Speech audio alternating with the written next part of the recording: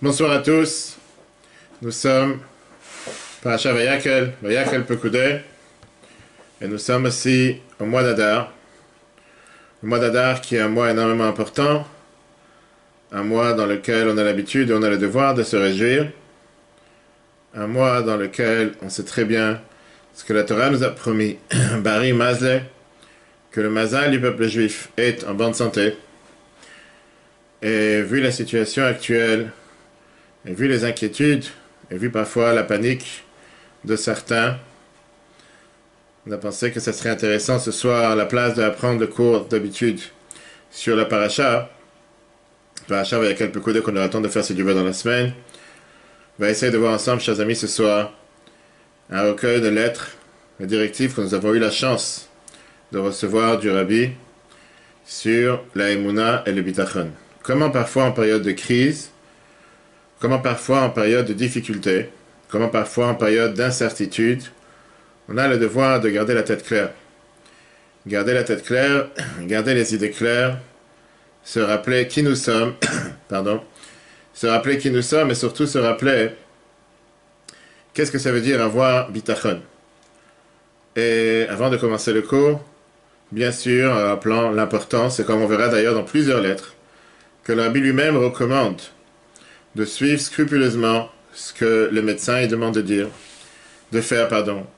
Et donc, dans la situation actuelle, on a le devoir, chacun d'entre nous, de respecter scrupuleusement ce que le gouvernement est demande de faire, de garder les distances d'hygiène, de, les gestes sanitaires à adopter, le lavage des mains, désinfection de n'importe quelle chose qui a pu être touchée par plusieurs personnes, le non-rassemblement en masse, etc., etc. C'est pas pour ça le cours ce soir. Chacun peut savoir et se renseigner sur Internet de sources officielles, et je précise, de sources officielles et pas de n'importe quelle rumeur qui tourne sur WhatsApp, sur Facebook, où tout le monde sont devenus des médecins, où tout le monde tout d'un coup a un ami ou un voisin qui est médecin, où on fait croire et on fait savoir à tout le monde tout et n'importe quoi. Important de suivre les directives du gouvernement, mais suivre les directives officielles tout en respectant les directives sanitaires et hygiéniques que le gouvernement nous donne. On a aussi le devoir de savoir qu'est-ce que Dieu attend de nous dans un moment pareil. Et c'est pour ça qu'on va voir ce soir ensemble plusieurs lettres. Lettres magnifiques, des lettres que le Rabbi a écrites à plusieurs reprises. Je vous dis, il y a des centaines et des centaines de lettres. C'est presque impossible de passer toutes les lettres pendant un cours, en un instant, en une heure de temps, comme on a l'habitude tous les lundis soirs. Mais c'est sûr que pendant cette période où les personnes doivent éviter de sortir seulement le nécessaire, c'est une période bien sûr où chacun peut renforcer son bitachon, renforcer sa emuna, renforcer la foi et s'assurer que, au contraire, on ne perd pas la tête, on ne devient pas totalement déséquilibré. Quand je dis déséquilibré, ça voudrait dire, va penser un instant que Dieu a pu nous abandonner, que Dieu nous en préserve. On va voir aujourd'hui, chers amis, la première lettre, parmi des dizaines de lettres qu'on va apprendre ce soir. Une lettre magnifique que la Bible a écrite le 13 Nissan 1951. Dans cette lettre, je vous lis la traduction, après on verra les explications en plusieurs lettres que nous allons voir ensemble ce soir. J'ai bien reçu votre lettre en son temps, mais à cause de mes nombreuses occupations, je n'ai pas pu vous répondre jusqu'à présent. Et je me suis aussi dit que vous n'avez pas besoin de ma lettre puisque vous avez déjà reçu une réponse du rabbi précédent, mon beau-père, quand, quand vous étiez ici. Mais de toutes les façons, je voudrais vous répéter encore une fois ce que j'ai déjà dit plusieurs fois. Une fois pour toutes, il faudrait savoir que la Emouna et la foi en Dieu, ce n'est pas quelque chose qui doit rester seulement dans la pensée, mais elle doit imprégner toute notre vie. Il n'y a aucun doute que vous êtes un mamine, un juif qui a confiance en Dieu. Et donc la première des choses de la c'est que Dieu dirige le monde. si Dieu a la force de pouvoir diriger un milliard et demi de personnes, une lettre qui a été écrite en 1951, c'est sûr que c'est aussi la même chose par rapport à vos sujets personnels. Comme c'est écrit d'ailleurs dans le verset, Ani asiti, vani esa, vani esbol amalet. Qu'est-ce que ça veut dire ce verset? Alors il explique. Réfléchissez, réfléchissez un instant. Si Dieu il a promis que lui va pouvoir nous sauver, va pouvoir nous aider. il va pouvoir contenir les différents soucis de qu'est-ce qui se passe. Il va pouvoir nous en sortir. Vous pensez vraiment qu'une personne qui n'est pas du peuple juif, je ne sais pas exactement quel était le contexte de la lettre, qui se trouve dans un autre pays, il pourra déranger à Dieu de pouvoir remplir sa promesse. Et donc, vous commencez à réfléchir. Est-ce que ça vaut la peine qu'il faut se soucier avec le fait que Dieu a les capacités de pouvoir être le patron du monde, mais malheureusement il m'a oublié, parce que je suis un être humain qui se trouve dans un endroit, dans un coin, il a oublié mes problèmes. Ou bien le fait que vous avez des soucis, c'est des soucis que c'est sûr que Dieu va trouver le chemin, comment pouvoir me sortir des soucis et de la situation dans laquelle je me trouve. Regardez tout de suite le prochain paragraphe, comment la Bible met cette personne à sa place en lui disant comme ça. Vous devez vous rappeler que la vie précédente vous a béni. Et qu'une bracha d'un tzaddik va s'accomplir. Et donc je suis sûr que la bracha qui vous a béni va aussi s'accomplir. Seulement, vous avez deux, deux possibilités. Ou jusqu'au fait que vous verrez l'accomplissement de la bénédiction. Vous allez tourner toute la journée en étant quelqu'un qui est soucieux, qui s'inquiète. Peut-être que la bracha ne va pas s'accomplir. Et après, quand la bénédiction va s'accomplir, à ce moment-là, vous allez avoir un autre souci.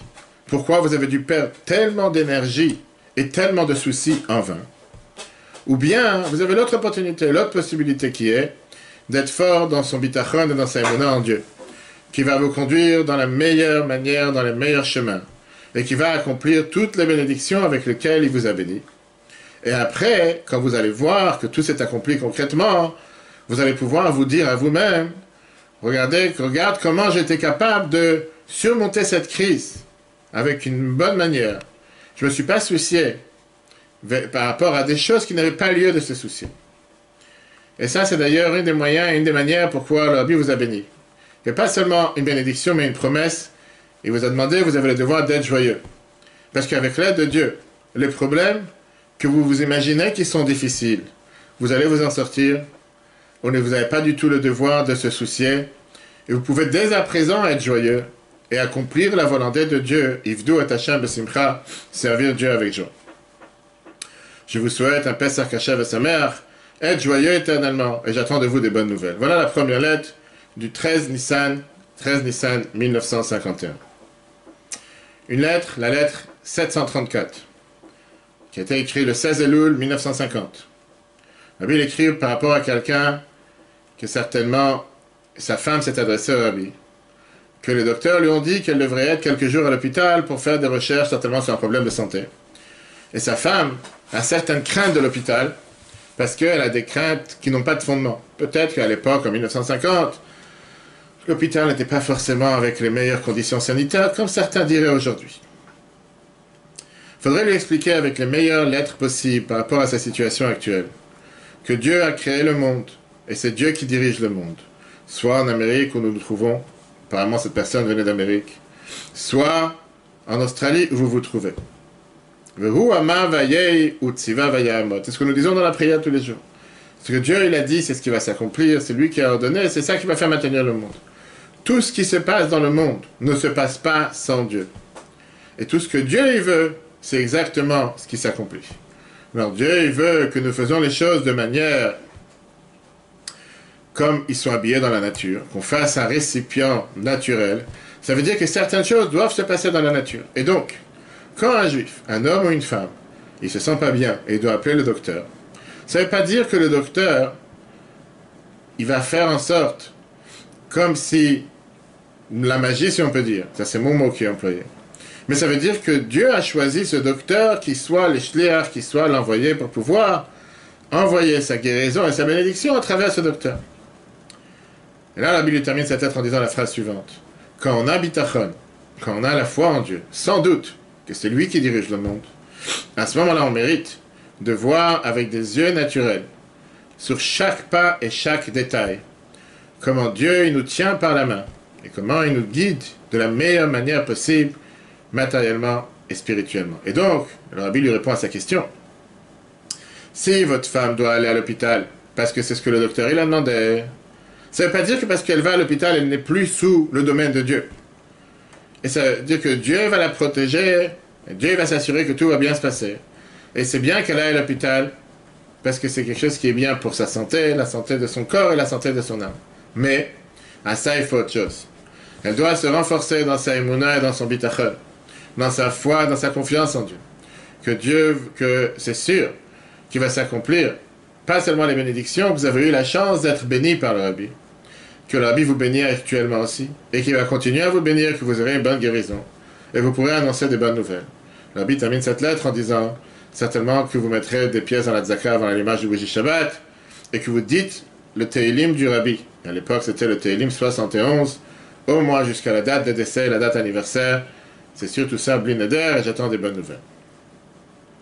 Troisième lettre, qui a été écrite par le Rabbi le 23 Tevet 1951.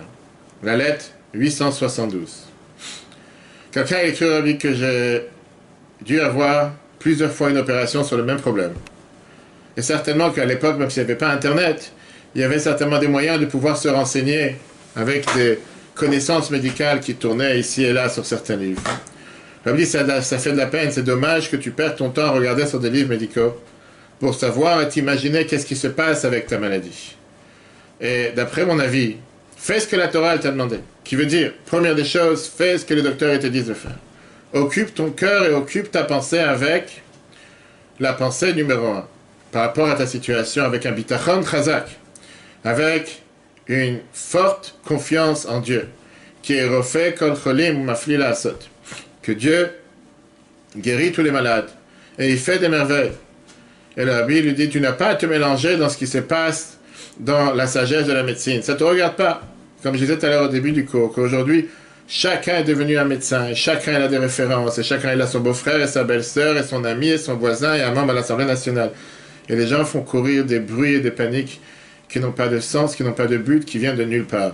Ça ne te regarde pas, la dit. Surtout si ce sont des choses qui viennent troubler ta tranquillité d'esprit, et ça éveille en toi des sujets d'amertume. C'est connu ce que les Chachamim, les Rabbim, Chabad ont dit plusieurs fois. Trad gut, gut. Pense bien et tout ira bien. L'ami finit par lui donner quatre conseils. Par rapport à ton, médicament, par rapport à ta guérison. Un, je suis sûr que tu remplis les demandes que le docteur t'a demandé de faire. Deux, évite de penser et de t'approfondir dans le sujet de ta santé. Trois, et un bitachon chazak, une confiance forte en Dieu. Rien peut empêcher Dieu de faire quoi que ce soit. Qui dit à Dieu quoi faire? C'est Dieu qui dirige la planète. 4. Renforce-toi dans ton attachement et dans la Torah Chassidut, les paroles de Dieu. Fixe un moment pour approfondir dans l'étude de la Torah, comme on l'a dit tout à l'heure aujourd'hui avec l'application et Torah. Vous avez près de 800 cours qui sont à vos dispositions sur tous les sujets. C'est le moment où jamais que les gens ont plus de temps, qui sont à la maison, dans la voiture, de pouvoir apprendre, approfondir sur n'importe quel sujet, sur n'importe quel domaine. Vous allez sur le menu, recherche, cours de Torah, vous tapez n'importe quel mot, vous trouverez n'importe quel cours. Et après, la Bible dit, ce serait bien que dans ta synagogue, il y ait aussi des cours de chassidut, de Fabringen de temps en temps.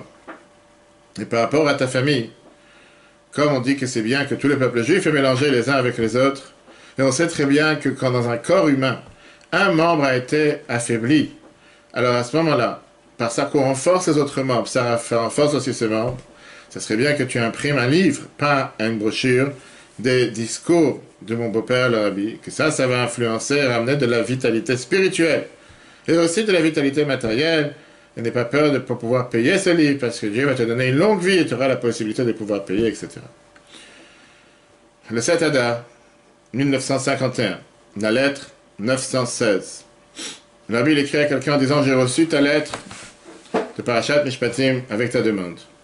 On doit être fort dans le bitachon en Dieu, qui dirige le monde sans aucune différence, peu importe où tu te trouves, et que Dieu va vous protéger et va vous aider, et que Dieu va faire en sorte que tu vas pouvoir t'en sortir matériellement et spirituellement. Néanmoins, on doit aussi faire toutes les recommandations matérielles pour pouvoir recevoir les bénédictions. Et ça, c'est la Torah et les mitzvot. Par exemple, dire Teilim chaque jour, comme le Teilim a été divisé par les jours du mois. Aujourd'hui, nous sommes le 21, donc donner, lire le Teilim qui correspond au 21. Apprendre la Torah, une paracha de Chumash tous les jours, les portions qui correspondent de dimanche à lundi, etc. Et les shiur de Tanya. Que Dieu fasse pour vous donner des bonnes nouvelles. Prochaine lettre, c'est la lettre 1019, écrite par le rabbi le 22 hier. Pareil, quelqu'un demande rabbi apparemment un problème de santé qu'il a eu. Le rabbi dit que quand j'étais sur la tombe de mon beau-père, je vous ai mentionné et j'ai demandé de la miséricorde pour lui, pour sa femme, qu'il soit en bonne santé, avec la tranquillité d'esprit, tranquillité du corps. Et dans ta lettre, tu m'écris que tu as une migraine, mais tu ne me dis pas quelle migraine, quel problème de santé tu as.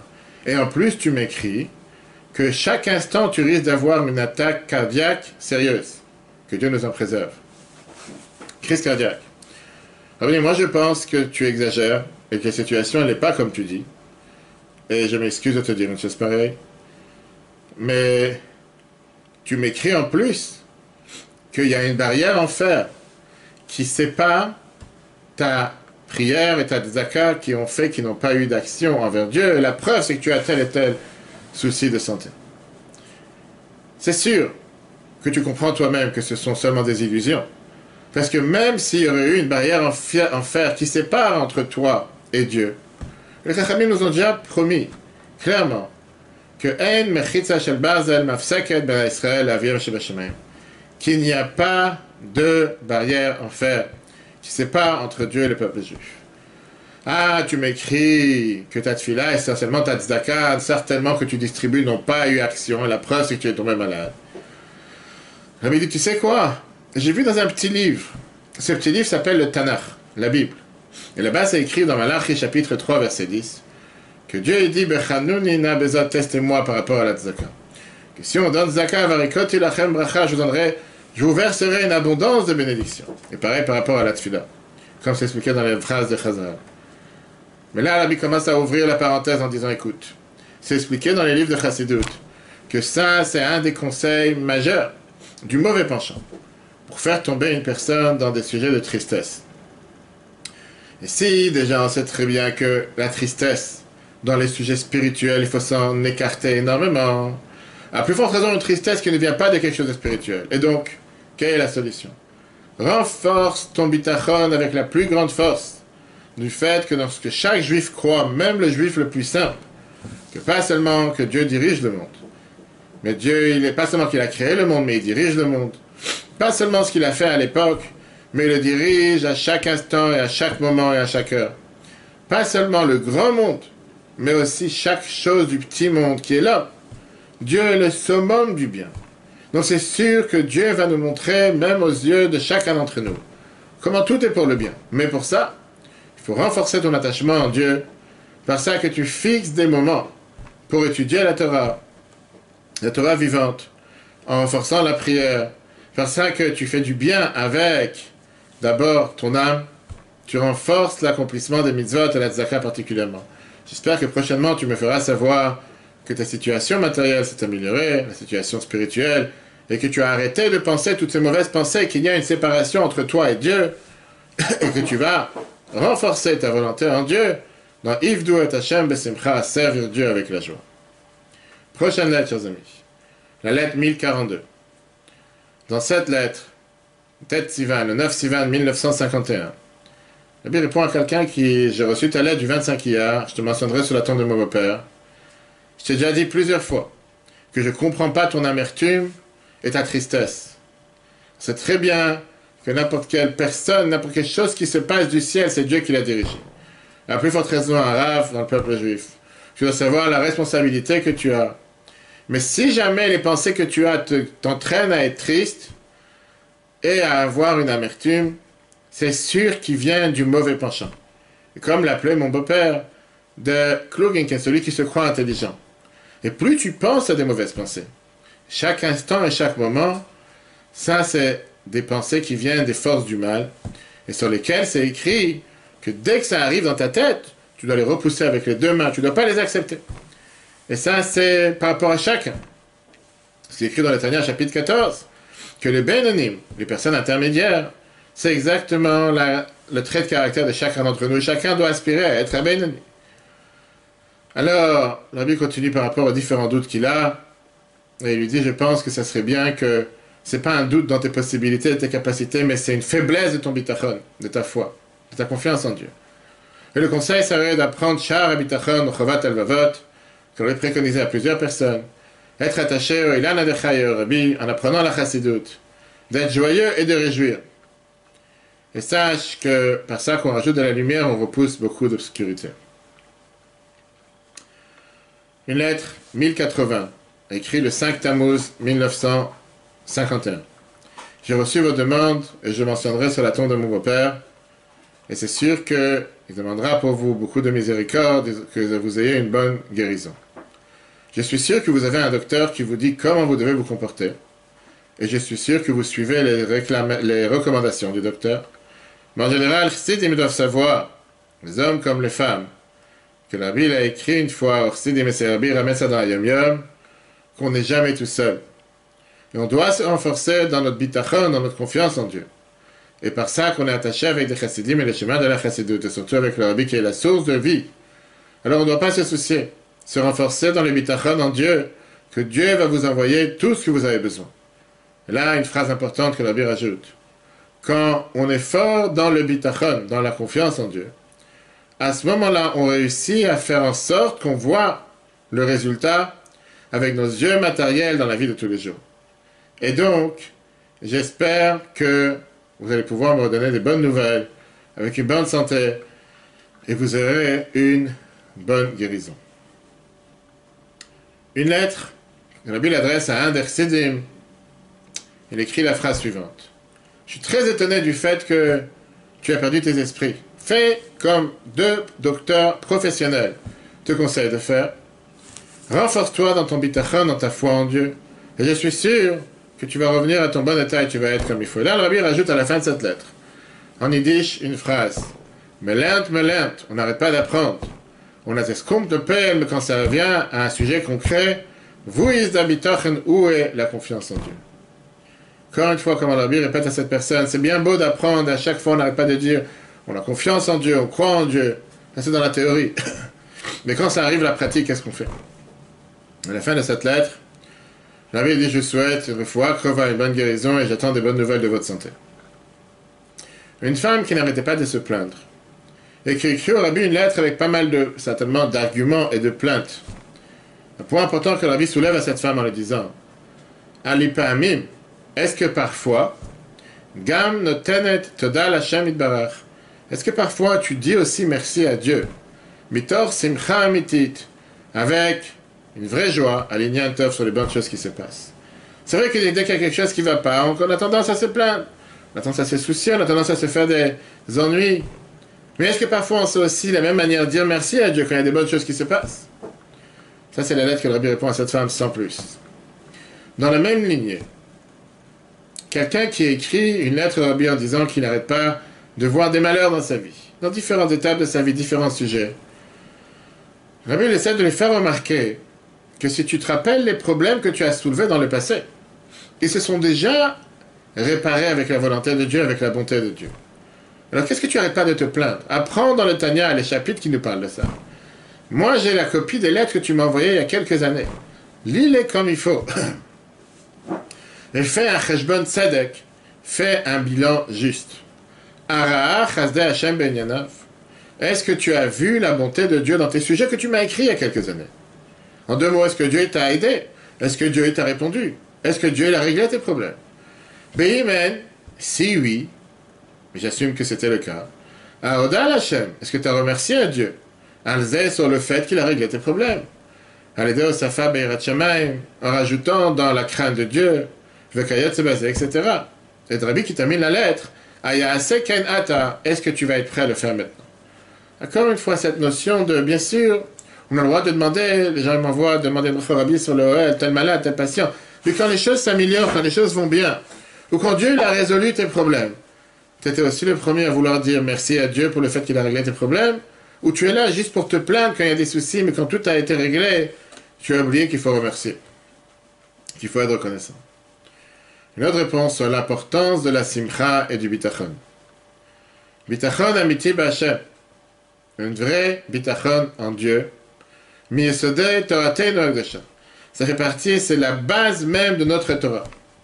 Ou vekayetze il te promet clairement que quelqu'un qui a un vrai bitachon, ça affaiblit, ça annule les soucis, etc. À ce moment-là, on est capable de servir Dieu avec une énorme joie. Personne qui a écrit Rabbi qu'il est désespéré. Vu la situation catastrophique, il se dit certainement qu'il n'y a plus d'espoir. L'apocalypse, comme certains diraient aujourd'hui, que Dieu nous en préserve. La Bible écrit la chose suivante. Yehush, qui veut dire le désespoir. Bichlal, c'est le contraire de notre émouna, de notre foi, et c'est le contraire de notre Torah. Anikret Torah Temet. On sait très bien que la Torah est appelée un Torah de vérité. Zatomeret, ça veut dire. Ametaeret, Ametziut, la mitata, la Torah, elle te dit la réalité telle qu'elle est. Que quoi? Qu'est-ce que la Torah nous dit? Que Dieu, que Dieu surveille et protège chacun d'entre nous. Begashmiut ou. Que Dieu protège chacun d'entre nous matériellement et spirituellement. Dieu nous aide. Etc. Alors, comment recevoir ces bénédictions de Dieu? Comment recevoir ces bénédictions de Dieu et l'aide de Dieu? En se comportant comme Dieu veut. En respectant le Shulchan Une femme qui écrit à Rabbi en disant que j'ai beaucoup de difficultés, j'ai un manque de tranquillité, un manque de calme, et je ne sais pas comment agir face à tout ce qui se passe. Rabbi lui répond, comporte-toi tous les jours comme la volonté de Dieu, comme c'est écrit dans le Shulchan Et ça, ça va rajouter dans les bénédictions de ce que tu as besoin inclut Manuchat Nefesh Amitit, une tranquillité de l'âme réelle, Veshalva Amitit, sauf sauf, et tu auras une tranquillité éternelle, une tranquillité réelle, éternelle. Ah, parfois tu m'écris qu'il y a des difficultés à le faire. Je dis, je sais très bien, chacun de nous a des difficultés. Bien sûr, c'est facile à dire d'avoir bitachon, mais quand on voit, on est assommé de dépêches sur WhatsApp, sur Facebook, sur Messenger, sur Instagram, Snapchat, et on en passe.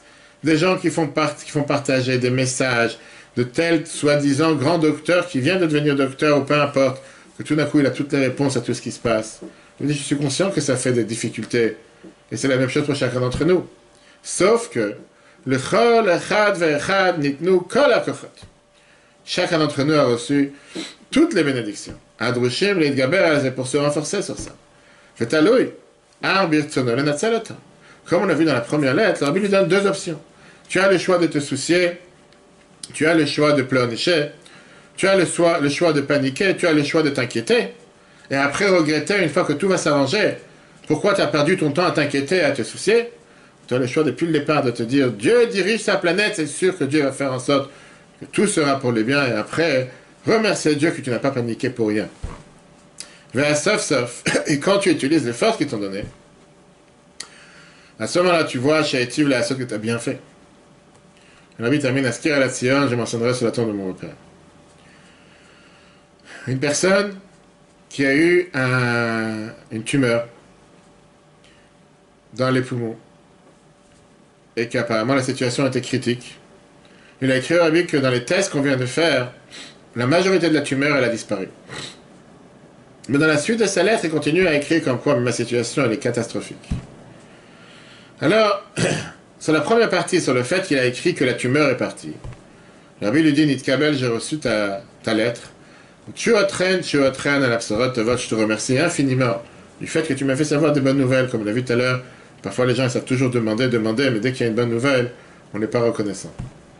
Sur la deuxième partie, quand il dit qu'il se plaint, il a des soucis et des problèmes, Rabbi emploie un mot qu'il emploie rarement, en nivhalti, comme si j'ai sursauté, en lisant ce que tu viens de m'écrire. Tu continues à te plaindre sur cette situation. Ra, Nes, Galouy, Minashamaim, tu viens de voir un miracle dévoilé du ciel. Ou la Kotev Kazot. Après ça, tu oses même pas, tu oses m'écrire ce que tu viens de m'écrire. Dieu te pardonnera par sa grande miséricorde. Velo Yishaer, Shum Roshem Mirtavo, il va rien te rester. Aucun impact de ta lettre. Demande la Bible, fais attention. Fais attention à ne pas t'amuser avec pas seulement ne pas être reconnaissant, mais continuer à te plaindre, tu viens de voir des miracles. Tu viens de voir des miracles et tu oses te plaindre comme si rien n'était. Je suis sûr que Dieu qui a, bon, a miséricorde, il va te pardonner sur ça. Mais je pas avec le feu. Une personne qui a écrit au Rabbi la chose suivante. Annie Bedikon, je suis, euh, on va dire, pas seulement stressé, je suis euh, en désespoir. Je ne sais pas comment je vais pouvoir me surmonter cette situation dans laquelle quelqu'un est mélancolique, quelqu'un qui a des mauvaises pensées, quelqu'un qui est amer. Est-ce que l'Arabie peut me donner un conseil? Quoi faire pour me sortir de cette situation? Et à ça, l'Arabie lui répond. Atmada Torah, apprends la Torah avec persévérance. Shehi Mesamach Atlev, que c'est connu que la Torah réjouit les cœurs. Un chassid qui écrit au Rabbi dans les premières années, sur sa situation difficile, Rabbi lui écrit la chose suivante. Kama ve kama peamim, à plusieurs reprises. Bikashti ve'orati, j'ai demandé et j'ai essayé de réveiller tout le monde. J'ai bichlal qu'en général. Ou bifrat bisman particulièrement en ce moment. Tsarich liot besimcha, il faudrait être joyeux. Vechulu, etc. Mouvan, je comprends. Que si ceux qui sont en contact avec moi sont joyeux, pour Elze ça va sûrement faire aussi un impact dans moi. Si jamais tu ne vas pas le faire, automatiquement, ça va aussi me mettre en tristesse, si on peut dire. Une autre lettre dans laquelle quelqu'un il adresse au Rabbi ses difficultés et ses soucis, qui panique et qui a beaucoup de soucis sur sa situation. Rabbi écrit la chose suivante. Benidun Didan, dans de telles situations, et qu'il a besoin chez Etvasev et Vitrono que des bails. Il a besoin de rajouter dans sa foi en Dieu comme il faut. Qu'est-ce qu'il doit rajouter dans sa foi en Dieu, dans sa confiance en Dieu? Shachem, le que pas seulement que Dieu dirige tout le monde, le grand monde, et la gamme de Chol, Echad, Vechad, Metan, Bifrat, mais que Dieu dirige chacun d'entre nous particulièrement. Kol El Gam, Chayav, inclut ta propre vie. Odibne Beto, ta famille chez Sheaz, qu'à ce moment-là, il y a tu vas beaucoup plus évaluer. Abrachot, gluyot, shenit barach. Les bénédictions dévoilées avec lesquelles tu as été béni. Il a dav, shemekabel mem nachat. Ça veut dire, par exemple, tes enfants de que tu as de la satisfaction. Et tu vas essayer d'éviter d'avoir des soucis sur les différents mauvais épisodes qui te sont arrivés, qui, qui sont arrivés envers toi. Après, l'arbitre termine avec quelques conseils. Kedai, ça vaut la peine. Chez sans prendre de vœux, Yatril Kolium tu commences chaque jour de semaine, la Tfila Betalit ou Tfilim Dukot, après avoir prié avec la Tfila, avec le Talit et les Tfilin vérifiés qui sont cachés. Le Netinat Putot Achadot le Kupat Zaka, donner quelques pièces à la Zaka. Chez Yaskiro, ça, va le rappeler. Kama avec Kama, ça va le rappeler qu'il y en a certains Matzavam, que leur situation est, les Ezrato, qu'ils ont besoin de ton aide. Hashem Bachabo, que Dieu t'a choisi, Kishlucho, comme son envoyé, leur donner cette aide. Av, Sheyachol Aya, la Hamtsi, la Yashar. Si Dieu aurait voulu, il aurait pu leur donner cette aide de manière directe. Dieu a décidé de t'utiliser à toi, que toi tu leur donnes cette aide, pour ça que tu mets la tzaka, etc. Une personne qui a fait savoir à Rabbi qu'il avait une situation positive dans sa vie personnelle, en deux mots, quelque chose de bien, une bonne nouvelle, Rabbi lui répond je te souhaite que tu pourras tout le temps dire des bonnes nouvelles. Ou de l'autre que pas comme tes lettres que tu m'écris en anglais, Amleim, qui sont pleines d'anachot, de, de plaintes et de, soupirs Rahman que Dieu nous en préserve, à Syriot, Bachanim, ça fait des dizaines d'années. Ça fait des dizaines d'années que tu n'arrêtes pas de te plaindre. Af me semble, malgré que c'est tellement clair et tout le monde le sait. Tu as réussi à faire grandir des enfants dans la Torah, dans les bonnes actions. Hazar le Kama Kama, tu as réussi à aider plusieurs personnes. etc., etc. C'est un moment d'adar. Comme l'a dit tout à l'heure, il y a une réponse à un juif que dans sa situation, il y avait une situation, il s'est passé quelque chose de triste pendant le mois d'Adar. Et il termine sa lettre au Rabbi en disant Ben Kar, Ani Mikol. De toutes les façons, je suis totalement brisé. Ubiyoti Ayom Levad Bechadri, quand j'étais tout seul dans ma chambre aujourd'hui, Bachiti Abe al Mazali, j'ai beaucoup pleuré sur ma situation mauvaise, mon mazal qui est mauvais, Verachem Amrachem, et que Dieu ait pitié de moi. La Bible est écrit avec un point d'exclamation et un point d'interrogation.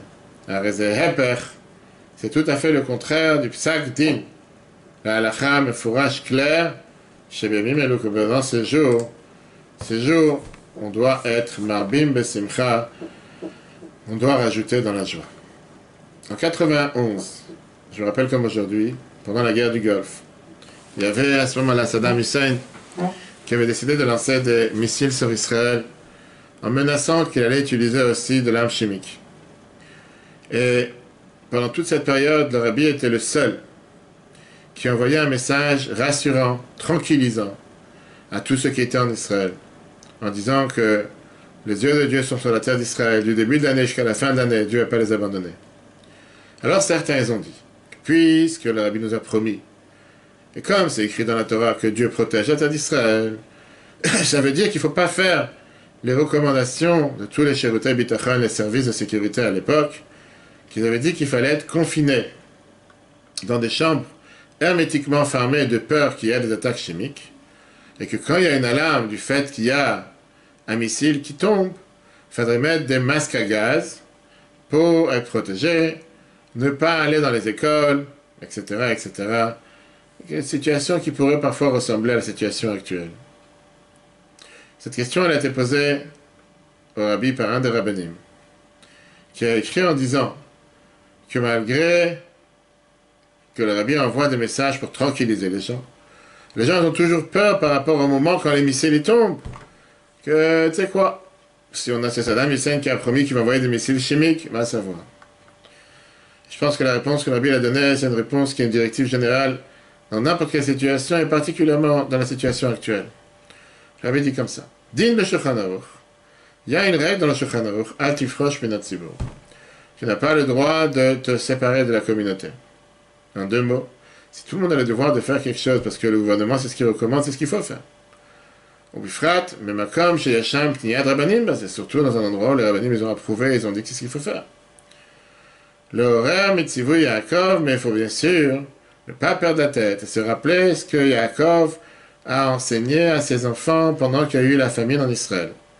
Parashat Vayeshev, chapitre 42, verset 1. Lama pourquoi vous avez peur? Pourquoi vous avez peur? Pourquoi vous allez faire comme s'il y a une panique totale? C'est tout ça, c'est par rapport à ce qu'on doit faire concrètement. En deux mots, la Bible dit d'abord, la première des choses, faire les recommandations que le gouvernement donne à faire. Comme on l'a dit au début du cours. Et si c'est le gouvernement qui dit qu'il faut faire telle ou telle chose, il ne faut pas s'amuser avec. Il faut respecter les règles pour la sécurité de tous, pour son bien-être, le bien-être de sa famille et de ses proches. Bonoga, le par rapport au sentiment, va moura kama j'ai déjà dit plusieurs fois. Fazman Gama, c'est la période propice, Shabbat Shira, c'était à l'époque où c'était écrit cette lettre. Bifrat, Bechol Matzav, dans n'importe quelle situation, Amra Torah, la Torah, il nous a dit qu'il y a une Torah de lumière, Faboter Bashem, Chesed Yesavavenu. Celui qui croit en Dieu, il est garanti d'être entouré que de bonheur. Il est garanti, pardon, d'être entouré que de bonnes choses. Une autre lettre qui est écrite le, 12, le 10 Kislev 1952. La lettre 1284. Dans cette lettre, j'ai reçu, reçu ta lettre et je vais mentionner sur la tombe de mon père. J'ai été très, très, très étonné de ce que tu m'écris. Si jamais il va m'arriver telle et telle chose, etc., etc. Et apparemment, la personne ne dit pas qu'est-ce qui pourrait lui arriver. Elle dit, je te comprends pas. Combien on parle sur l'importance du bitachon, combien c'est important d'avoir la confiance en Dieu. Surtout d'après notre foi et notre Torah. Avez votre raison maintenant qu'on ait une poignée de gens qui ont été sauvés, c'était en 1952, c'était juste après ce qui s'est passé avec l'Holocauste. qu'on a réussi à avoir des miracles dévoilés, du fait que nous existons et que nous sommes là. Mais cette pensée, qu'est-ce qui va se passer s'il va avoir quelque chose de malheur? Ça même, c'est un malheur, la vie, que tu penses à une telle chose. Et dans nos jours, qui a tellement de quoi faire, occuper son temps pour faire des bonnes choses. Et on voit clairement comment le travail est nombreux et le temps est court.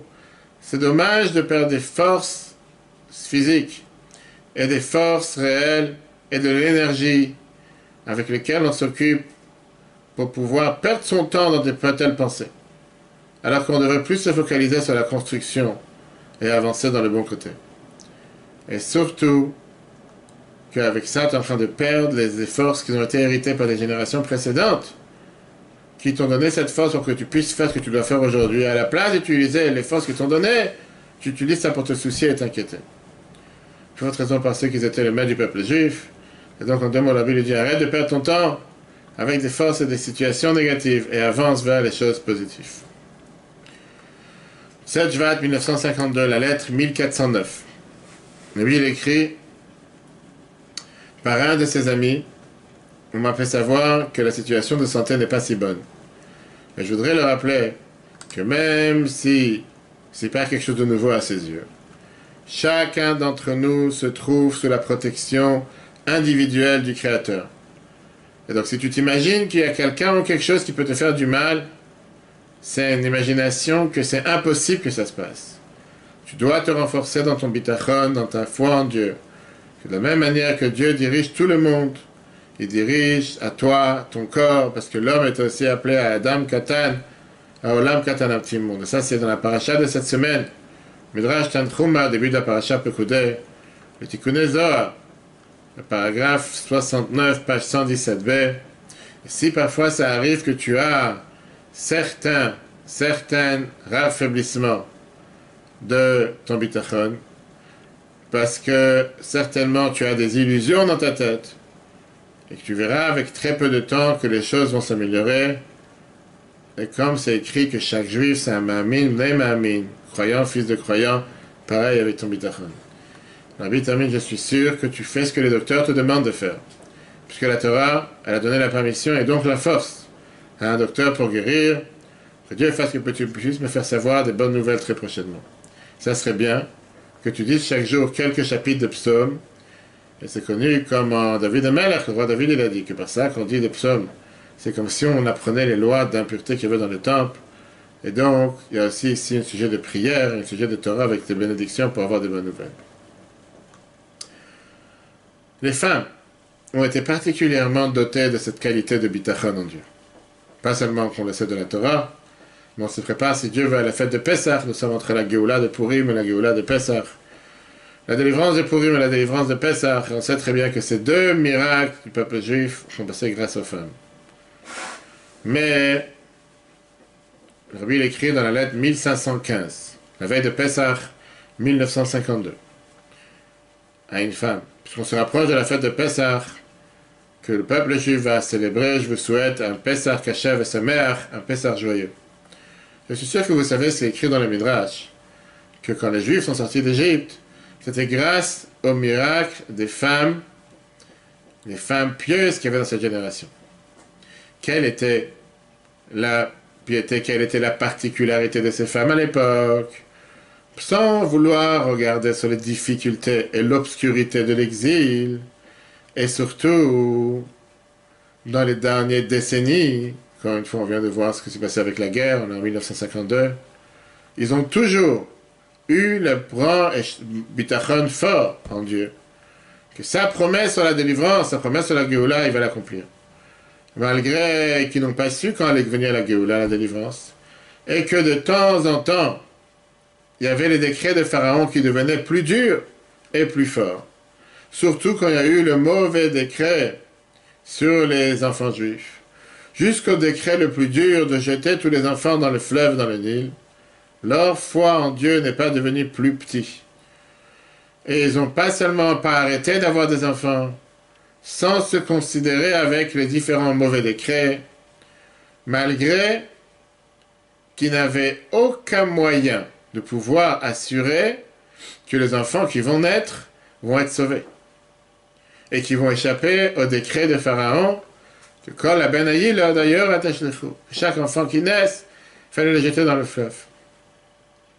C'est ce bitachon, c'est cette foi en Dieu, cette force qu'ils ont eue, qui a fait en sorte que le fait qu'ils ne se sont pas fait des calculs avec la compréhension humaine, et ne pas commencer à faire des calculs par rapport à la logique. Qu'est-ce qui va se passer demain? Qu'est-ce qui va se passer après-demain? Parce qu'ils se sont rappelés du fait que c'est Dieu qui dirige le monde et qu'il n'y a rien qui peut se passer contre Dieu. Grâce à ça, ils ont fait en sorte de pouvoir mettre sur place toute une génération de dizaines, de centaines de milliers d'enfants. Et que ce sont ces enfants qui après étaient les premiers à remercier Dieu qu'on a traversé la mer Rouge. Et c'était ces enfants qui après ont reçu la Torah sur le mont Sinaï et qui ont donné naissance au peuple juif. Chaque chose qui est écrite dans la Torah, on doit de ça tirer un enseignement pour chaque juif. Et donc, la Bible est la même chose pour vous. On doit être fort avec le bitachon en Dieu. Que seulement Dieu est le balabait, le patron du monde. Et que personne et rien peut aller contre sa volonté. Même quand on ne voit pas comment les choses vont s'améliorer de manière naturelle. Mais c'est sûr que Dieu va remplir ce qu'il doit remplir. Que tous ceux qui sont attachés avec Dieu, bénis soit-il, par ça qu'ils ont un bitachon total en lui, confiance totale en lui surtout les enfants qui l'ont vu bonne santé. De la même manière que pendant en Égypte. On a vu qu'il n'y avait aucun moyen naturel de pouvoir arriver à la Géoula, à la délivrance. Ça n'a pas raffaibli leur bitachon, leur foi en Dieu, pour avoir et éduquer des enfants. Et que ces enfants, ils auront une arichut yamim, une longue vie, bonne santé. On doit aussi savoir et espérer que dans notre temps, par ça qu'on aura un grand bitachon. Mon Dieu, on va mériter la Géoula par Mashiach avec la, bénédiction de fête de Pessah, cachère et joyeuse, et beaucoup de satisfaction des enfants et beaucoup de bonne santé. La lettre 1599, la lettre du 1er Sivan, 1952. Avec joie, j'ai reçu votre lettre du 21 hier. J'ai réfléchi à cette lettre, du fait que ça fait longtemps que je ne vous ai pas entendu par rapport à votre santé, par rapport à la santé de votre femme. Je remercie Dieu que vous allez déjà dans la rue, vous allez à la choule, à la synagogue. Comme je vois dans votre lettre que aussi la situation de santé de votre femme est devenue encore mieux, puisqu'on le voit avec de propres yeux, que Dieu vous a fait en bonne santé, et que la situation de la santé de votre femme s'améliore, on doit avoir un bitachon fort en Dieu, que ça va s'améliorer de mieux en mieux, jusqu'à ce que vous-même vous allez être heureux de cette situation. Mais par contre, ça me fait mal au cœur. ça me fait de la peine de lire dans votre lettre des expressions qui ne sont pas nécessaires. Pourquoi vous vous faites une chose pareille? Et surtout que vous êtes un juif croyant qui a la possibilité de pouvoir influencer les autres. Parce que si jamais on est faible dans le bitachon en Dieu, d'abord, ça dérange dans la situation spirituelle. Et ça dérange dans la santé. On se fait des soucis, on panique pour rien. Et deuxièmement, ça enlève la volonté et l'enthousiasme de pouvoir influencer des autres, d'être en bonne santé et d'avoir une bonne humeur.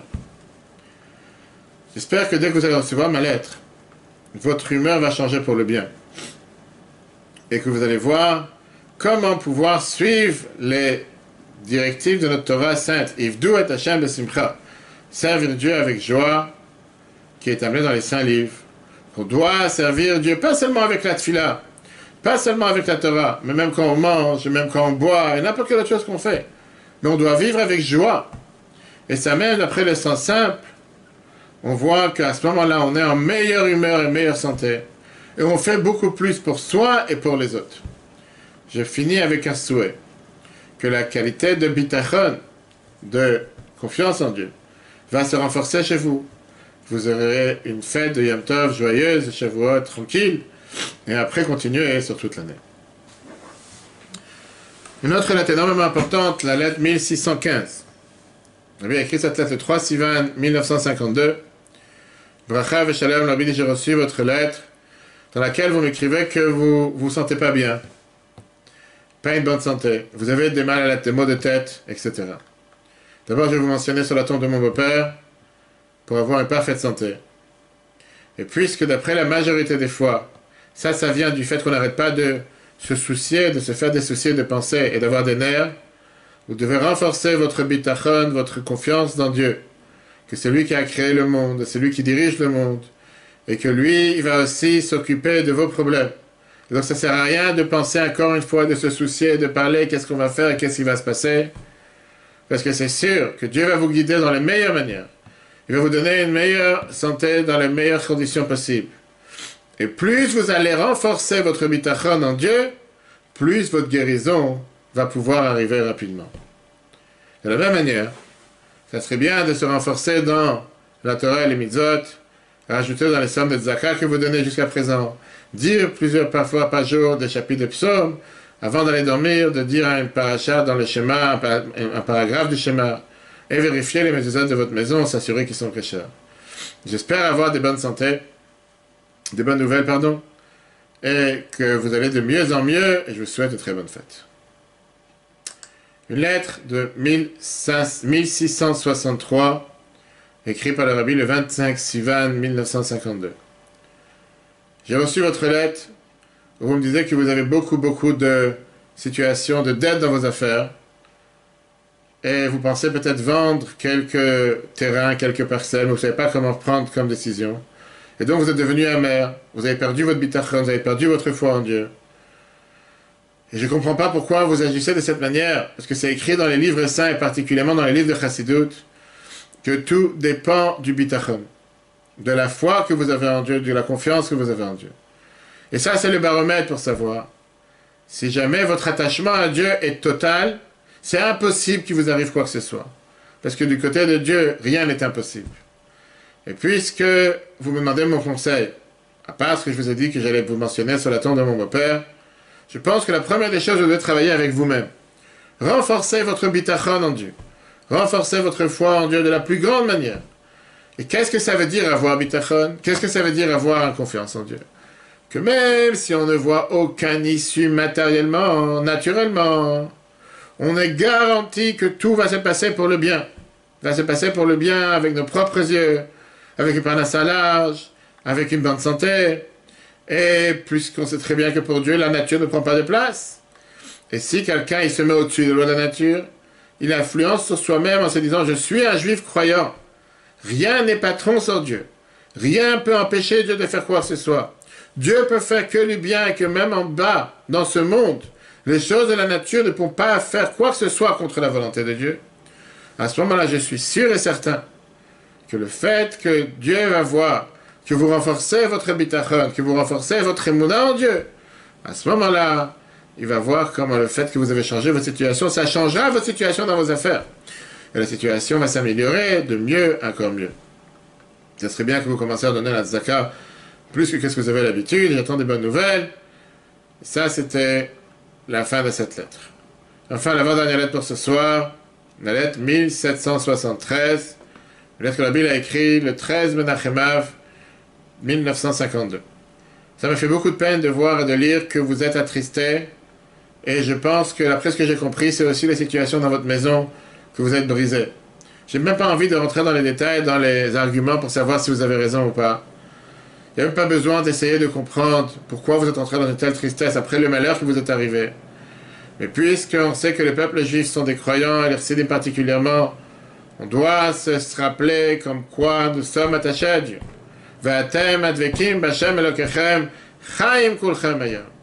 Qu'est-ce que ça veut dire que nous sommes attachés à Dieu, nous vivons éternellement?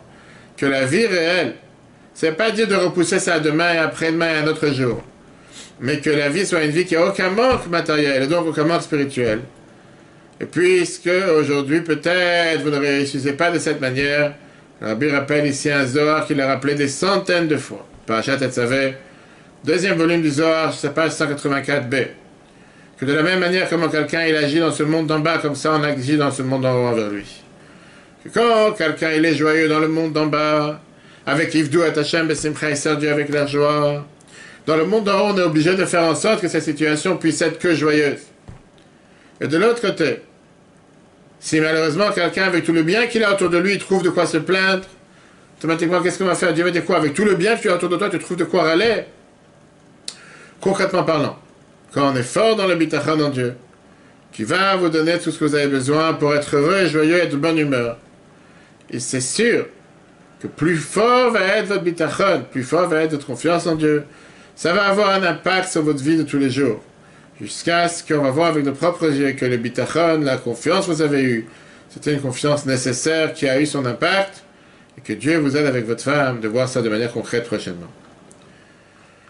Une lettre 2372. La lettre du 28 Tevet 1954. Tu m'écris que tu as perdu ton emploi.